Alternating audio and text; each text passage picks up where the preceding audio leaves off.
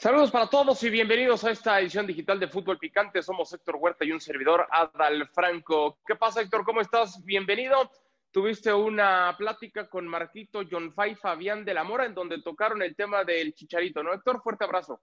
Hola, Adal, ¿cómo estás? Sí, entre, entre muchos temas que platicamos con Marco Fabián, que, que yo lo veo en esta etapa de su vida con más madurez, con ya no es aquel chavo reventado que andaba eh, mucho en las revistas del corazón, de espectáculos y y que le encantaba la fiesta, ahora está muy aterrizado, está, lo, sentí bastante bien, bastante plantado, ¿no? Con una experiencia de haber jugado en Alemania, en Estados Unidos, en Qatar y ahora de haber vuelto al fútbol mexicano. Vamos a escuchar, Héctor, si te parece, esa parte en la que Marco Fabián habla sobre su ex compañero y buen amigo, Javier el Chicharito Hernández. Lo de Javier, como te digo, ¿no? Yo yo me voy mucho con, su persona, eh, quitando un poquito lo del fútbol, y yo lo veo, lo veo bien, lo veo bien.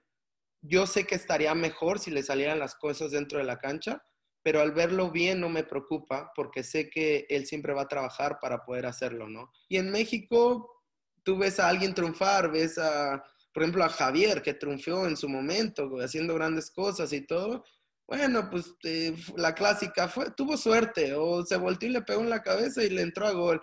Ah, suerte, o seguro le ayudó el doctor para que jugara, o yo qué sé, tratas de buscar siempre el pretexto para decir, en vez de sentirte orgulloso de que es mexicano, ¿sabes? Bueno, ahí Héctor, parte de la entrevista, me quedo cuando dice, yo a Javier lo veo, lo veo bien, no sé qué tan sincero haya sido Héctor, insisto, tienen una muy buena amistad eh, y quizá esa amistad le prive de poder decir las cosas como son. Hoy Javier Hernández, Héctor, no está bien, eh, no se le ve bien ni dentro del terreno de juego ni tampoco fuera de él, ¿no?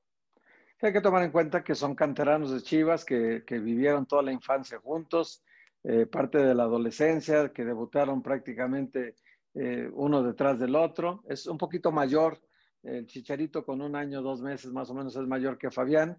Eh, son amigos de toda la vida, eh, son amigos de familia incluso. Eh, por eso este es, yo lo entiendo como normal lo que dice de él, que lo ve bien plantado, que lo ve, que lo ve bien, que lo ve con una vida familiar muy integrada ya, pero que también en la parte futbolística cree él que está en una mala racha de goles y que un goleador en cuanto vuelve a encontrar el marco, pues eh, vuelve a, ser un jugador importante del equipo, ¿no? Pero evidentemente, como lo dices tú, y los números no mienten, eh, Chicharito no ha sido lo que Galaxy esperaba ni remotamente. Entonces, la expectativa era muy alta y los resultados no han sido tan buenos. Vamos a repasar justamente esos números a los cuales hace referencia Héctor, los partidos jugados que tiene el Galaxy 18, de los cuales Hernández ha estado en 10 1.620 minutos, en los cuales Chicharito ha tenido acción en 692, es decir, un 43% de participación. Apenas un gol, Héctor, y además lo, el rendimiento que ha tenido Javier Hernández en cuanto a minutos se refiere a lo largo de los últimos años, 704 en el 2020, 1596 en el 2019, 1988 en el año 2000 17, poca participación en cuanto a minutos, poca efectividad, Héctor, en cuanto a goles se refiere, pero hay que entender la expectativa que tenía puesta en el Chicharito, sí, mediáticamente, venta de camisetas y demás, pero las cosas como son, Héctor, el Galaxy fichó al Chicharito como el sustituto de Zlatan Ibrahimovic y hoy está a años luz de Ibra. Pues yo creo que siempre ha habido una diferencia importante entre los dos. Zlatan es de otro, de otro planeta, es de otro nivel. Eh, claro que lo venían a sustituir como un jugador franquicia importante que tenía una buena, buena trayectoria en Europa y que esperaban ellos que, le diera al Galaxy resultados este, en lo que él sabe hacer, que son goles. Eh, desgraciadamente, sí, su carrera está en un momento de encrucijada, que tiene que pensar muy bien Javier qué es lo que quiere. Si ya, si ya no es el fútbol su prioridad, pues tiene que eh, determinarlo y decidirlo de la directiva, porque eh, es que lo que él cuesta al Galaxy, eh, pues evidentemente que también el equipo va a exigir resultados, o sea, no, no fue ahí por, lo que, por lo que había hecho, sino por lo que esperaban que hiciera en el equipo también. O sea, es un poco que compras su historia, pero compras mucho más su presente y su presente necesita ratificarlo con resultados. Yo no sé si esté en el peso correcto, yo no sé si esté físicamente bien, yo no sé si esté recuperado plenamente de las lesiones, pero lo cierto, lo que todos sabemos es que ha metido un gol desde que llegó, que ha fallado un penalti, que ha jugado muy pocos minutos, que ha tenido muchas lesiones y que no ha sido el jugador que la gente esperaba. Entonces, eso está clarísimo a los ojos de todo el mundo, ¿no?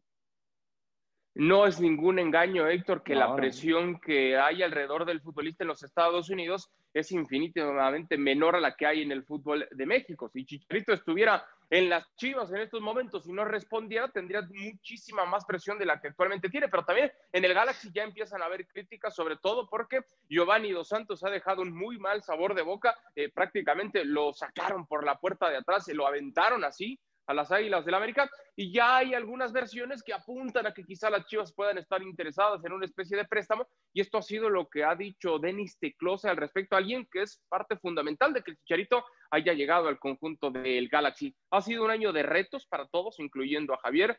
Obviamente que teníamos muy altas expectativas, él y nosotros no hemos podido cumplir con esa expectativa hasta ahora, pero no es verdad que estemos pensando en cederlo a préstamo a Chivas o algún otro equipo. Es lo que ha dicho Denis Teclose. Con todo respeto, Héctor, con todo respeto, hoy el Guadalajara no podría fichar o, traer a préstamo a un futbolista que es suplente en el Galaxy. El momento de Guadalajara no lo permite, Héctor. No, y además eh, yo creo que la carrera de, de, Javier y Denis Teclose, que fue el que lo llevó y que impulsó esta contratación y que es responsable ante los dueños del equipo, de dar resultados eh, por esta contratación, yo creo que lo entiende perfectamente, ¿no? Mira, yo desde el, día de la presentación, cuando suelta esa frase de que yo soy leyenda, los ojos que, le, que, le, puso encima Barros Esqueloto son de, de, ¿y este cuate qué pasó? ¿Qué, qué, qué, qué trae, verdad? ¿Qué, ¿Qué, tomó antes de, venir a la rueda de prensa? O sea, ¿qué pasa con esta declaración? Le, le sorprendió, quedó con los ojos desorbitados. Entonces, ahí ya nos mandaba un aviso de que era, iba a ser muy difícil esta conciliación de intereses entre un técnico que pues seguramente dice aquí el que manda soy yo, el más importante soy yo y el que decide quién juega y quién no juega soy yo. Eso de que Chicharito lo hayan puesto en la banca hace dos partidos y, que lo hayan metido ya al segundo tiempo y que se haya visto tan mal en un remate de zurda que lo, tiró arriba del travesaño y que haya recibido tantas críticas porque la gente lo ve que está excedido de peso, en fin. Yo creo que eso a Chicharito no debe haber gustado nada, seguramente. Los dos siguientes partidos aparentemente está lesionado, no lo sé. No puedo decir que no es cierto, tampoco puedo decir que sí lo es. Entonces, lo que sí me parece es que en el Guadalajara ahorita, hoy, por ejemplo, eh, yo no sé si Macías y él, cuál de los dos sería titular, la verdad porque tan mal anda uno como el otro, ¿eh? No, no crees que tampoco Macías anda muy bien. No, Entonces, no, ahorita, no, no, bueno, por supuesto, por supuesto. Macías está jugando y el otro no. Entonces hay una diferencia nada más de ritmo futbolístico, pero evidentemente que Macías tampoco ha cumplido la expectativa que Chivas tenía de él. Hoy esperábamos que fuera el jugador de León y no es. Entonces, eh, eh es que no le llegan ni pelotas, Héctor, ¿no? No, a Macías no, le llegan ni pelotas, o sea, por desde ahí parte la problemática. A lo mejor la forma de jugar en el Chicharito es igual tampoco el equipo la tiene más la pelota Cristian Pavón que Chicharito. Y mira que Cristian Pavón es un jugador que tiene mucho más contacto con la pelota todo el partido y que ha sido más productivo para el equipo, que es el goleador de la liga y que por alguna razón, eh, no sé si los dos pudieran en algún momento entenderse mejor para que hagan una dupla goleadora al frente muy importante, ¿no? ¿Qué es lo que piensa el Galaxy que debe de ser? Además, yo vi el partido del Galaxy anoche y, completito y no te creas que tampoco tiene muchas llegadas el Galaxy. ¿eh? es un equipo muy precario al frente. ¿eh? Sí, de acuerdo. Y suena la posibilidad que Guillermo Barros Esqueloto quizá tenga los días contados y como una de las opciones ahí está Javier el Vasco Aguirre. Para terminar, decía Marco John Fay Fabián de la Mora y yo coincido con eso, Héctor, que muchas veces no valoramos al mexicano. Hay muchas críticas, hay hasta burras hacia ellos en estos momentos, cuando Javier Hernández no está bien dentro del terreno de juego y ha abierto no solamente la puerta del garage de su casa, sino la de la puerta principal, la de la cocina, la de la recámara, la del baño, todo.